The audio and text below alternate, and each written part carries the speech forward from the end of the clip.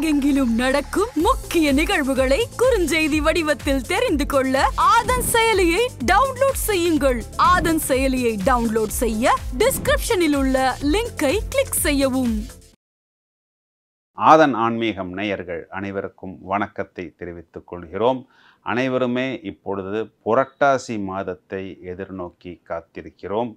பதினேழு ஒன்பது ரெண்டாயிரத்தி இருபத்தி நான்கு முதல் பதினேழு பத்து ரெண்டாயிரத்தி இருபத்தி நான்கு வரை இந்த புரட்டாசி மாதம் சூரியன் கன்னிராசியில் சஞ்சரிக்கக்கூடிய காலகட்டத்தை கன்னியா மாதம் என்றும் அழைக்கப்படுவதுண்டு. இந்த புரட்டாசி மாதத்தை எடுத்துக்கொண்டால் ஆன்மீக ஆர்வலர்கள் முழுவதுமே கோலாகலம் என்று தான் நாம் அழைக்க வேண்டும். குறிப்பாக ஸ்ரீனிவாசா கோவிந்தா என்ற பாடல் ஒழிக்காத வீடுகளே இல்லை என்று சொல்லலாம்.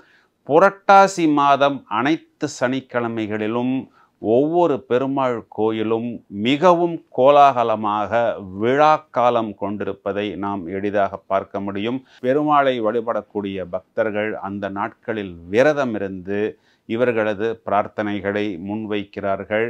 முன்னோர்களுக்கு திதி கொடுக்கும் மாதமாகவும் இந்த புரட்டாசி மாதம் வரக்கூடிய அமாவாசையைத்தான் மாலையபட்ச அமாவாசை என்று பிரத்யேகமாக முன்னோர்களுக்கு திதி கொடுக்கக்கூடிய விஷயங்கள் நடைபெறுகிறது. அக்டோபர் மாதம் பதினொன்றாம் தேதி ஆயுத பூஜை மற்றும் சரஸ்வதி பூஜை. மேலும் அக்டோபர் மாதம் பன்னெண்டாம் தேதி விஜயதசமியும் கொண்டாடப்படுகிறது. இந்த கிரக நிலைகளை எடுத்துக்கொண்டு ஒவ்வொரு ராசிக்கும் என்ன தாக்கம் செய்ய போகிறது என்ற பலனை மேலோட்டமாக பலன்களாக மட்டும் நாம் எடுத்துக்கொள்ளாமல் சுவாரஸ்யமாகவும் பலன்களை இப்பொழுது நாம் மிகவும் விளக்கமாக காண இருக்கிறோம். கடகராசிக்கு பலன் சொல்வதற்கு நான் வெகு நேரமாக காத்து கொண்டிருக்கிறேன். ஏனென்றால் அஷ்டம சனியில் வெளியே சொல்ல முடியாத அளவுக்கு பலவிதமான பிரச்சனைகளில் கடகராசிக்காரர்கள் மாட்டிக்கொண்டிருக்கிறார்கள்.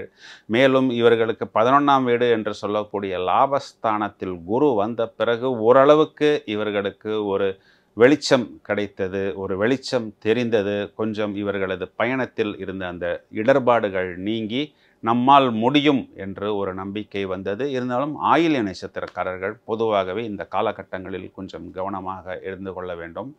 கடகராசிக்கு தனிப்பட்ட முறையில் இந்த புரட்டாசி மாதத்தை எடுத்துக்கொண்டால் இவர்களுக்கு லாபஸ்தானாதிபதி தான் சுகஸ்தானத்துக்கும் அதிபதியாக வருகிறது. இந்த சுக்கரன் என்ற கிரகம் நான்காம் வீடு என்று சொல்லக்கூடிய சொந்த வீட்டில் இவர்களுக்கு இந்த மாதம் முழுவதுமே கிட்டத்தட்ட ஆட்சி பலம் பெறுகிறது.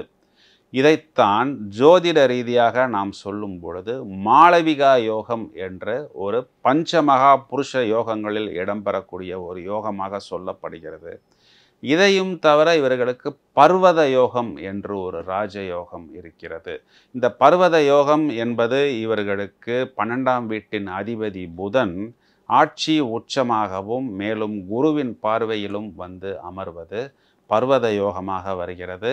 இந்த மாளவிகா யோகமும் பர்வத யோகமும் கடகராசிக்காரர்களை பொறுத்தவரை இந்த புரட்டாசி மாதத்தில் நிறைய நல்ல விஷயங்களை கொடுப்பதற்கு தயாராக இருக்கிறது. ஏனென்றால் தனஸ்தானாதிபதி வெற்றி ஸ்தானத்தில். வெற்றி ஸ்தானாதிபதி சொந்த வீட்டில் ஆட்சி உச்சம் மூலத்திரிகோணம் சுகஸ்தானாதிபதி ஆட்சி. இந்த மூன்று நிலைகளுமே இவர்களுக்கு தனம் என்று சொல்லக்கூடிய வருமானம் வாக்கு அதாவது கொடுத்த வாக்கை காப்பாற்றுவது.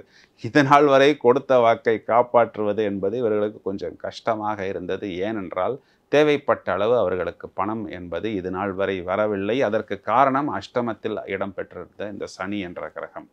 மேலும் இவர்களது கம்ஃபர்ட் முயற்சி சுகஸ்தானம் பூரணமாக பலம் பெறுவதனால் இந்த கூட்டணியானது பாக்யஸ்தானத்தையும் மற்றும் பத்தாம் வீடு என்று சொல்லக்கூடிய தொழில் ஸ்தானத்தையும் பார்ப்பதனால் லாபஸ்தானாதிபதி சுகஸ்தானத்தில் அமர்ந்து பத்தாம் வீடு என்று சொல்லக்கூடிய ஜீவனத்தை பார்க்கிறார். இதன் அர்த்தம் என்னவென்றால் லாபம் அதன் மூலம் நமது கம்ஃபர்ட் அதன் மூலம் நமது தொழில் என்ற இந்த மூன்று வீடுகளுமே பலம் பெறுகிறது. தனஸ்தானாதிபதி வெற்றி ஸ்தானாதிபதி குருவின் பார்வையில் இதனால் இவர்களுக்கு தனப்புழக்கம் என்பது இந்த மாதம் முழுவதுமே ஏற்படும். மேலும் இவர்கள் வெளியூர்களுக்கு செல்ல வேண்டும் என்றாலும் அல்லது வெளிநாடுகளுக்கு செல்ல வேண்டும் என்றாலும் இந்த மாதம் இவர்களுக்கு அந்த முயற்சிகள் கைகூட அமைப்பாக இருக்கிறது.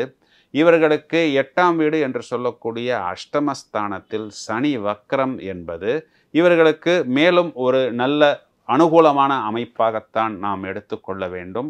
இருந்தாலும் இவர்களது உடல் நிலையில் குறிப்பாக வயிறு மற்றும் அடி அடிவயிறு சம்பந்தப்பட்ட இடங்களில் சின்ன சின்ன உபத்திரங்கள் வராத அளவுக்கு இவர்கள் அந்த உணவு முறைகளை பக்குவமாக கையாள வேண்டும்.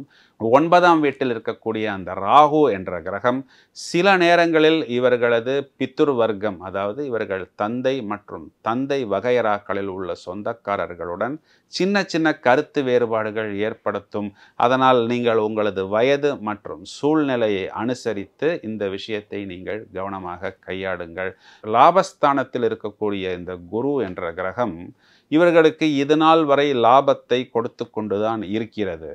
அக்டோபர் மாதம் பத்தாம் தேதி குரு வக்கரமடையக்கூடிய காலகட்டங்களில் இவர்களுக்கு சில நேரங்களில் லாபம் வருவது போல் தோன்றும். ஆனால் லாபம் வருவதற்கு கொஞ்சம் தாமதப்படும்.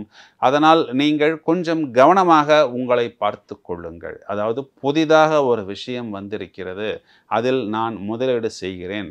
எனக்கு இந்த விஷயத்தின் சூட்சுமம் என்னவென்று தெரியவில்லை.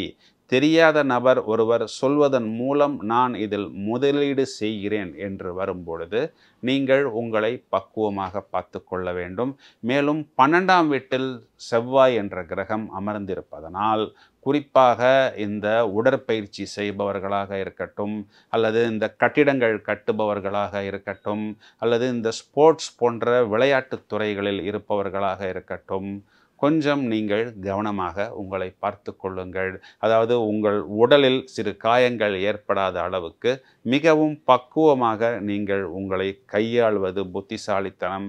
மேலும் சகோதர வர்க்கம் செவ்வாய் என்பது சகோதரர்களை குறிகாட்டுவதனால் நீங்கள் உங்கள் சகோதரர்களுடன் எந்த விஷயத்தை பேசுவதாக இருந்தாலும் அவர்களை எதுவும் காயப்படுத்தாமல் நீங்கள் அந்த வார்த்தைகளை பேசுவது அல்லது பிறகு பார்த்து கொள்ளலாம் என்று தள்ளி போடுவதுதான் புத்திசாலித்தனம்.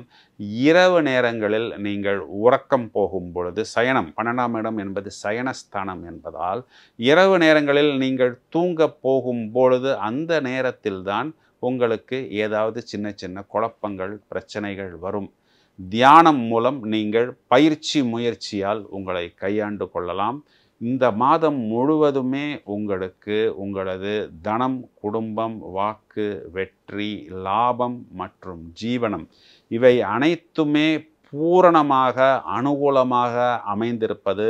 இதைத்தான் நான் இவ்வளவு நாட்கள் எதிர்பார்த்தேன் என்று சொல்வதாக இருக்கிறது.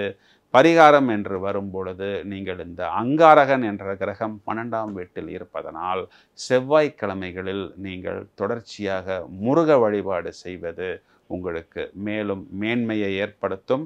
அஷ்டமத்தில் இருக்கக்கூடிய இந்த சனி என்ற கிரகத்துக்கு தொடர் கர்மாவால் சிலர் விட்டுப்போன இந்த பித்ருக்களுக்கு பிரீத்தி செய்வதற்கும் இந்த மாதம் ஒரு உகந்த மாதமாக இருக்கிறது.